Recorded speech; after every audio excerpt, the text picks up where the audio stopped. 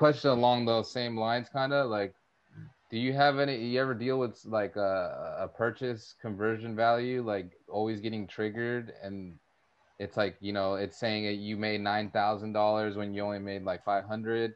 You know, like like it's like someone's like triggering your pixel to like sell. Like I'm having to deal with that all the time too. And then like all I do there is I duplicate that same ad set and then I I, I delete the one before. But then also in that meantime when it's like trying to uh, approve that new ad set and trying to like reconfigure it like i'm losing like time like like where i could be like optimizing those sales and stuff.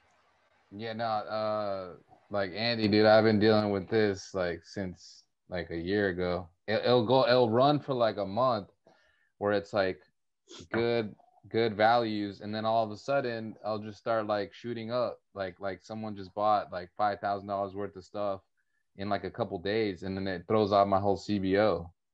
You know, so all I do there is I'm I'm like duplicating that one ad set that has the extreme purchase conversion value and then I'll just uh, turn off the other one. I'll pause it. So I mean, if you if you have any experience with that, yeah, so with that, it's happened to me. I haven't had wacky numbers like that, but every time that happens, I usually one try to reinstall the pixel to my store, disconnect my Shopify to my Facebook account and reconnect it. Two, install apps such as Trackify that sort of have more in-depth tracking.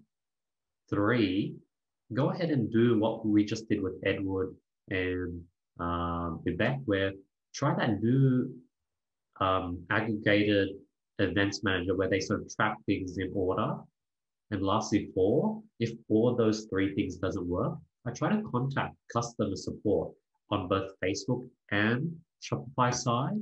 And lastly, five, if nothing works, you like freaking shop, nothing can fix it, then the worst case scenario is you just look at your cost per purchase rather than your ROAS.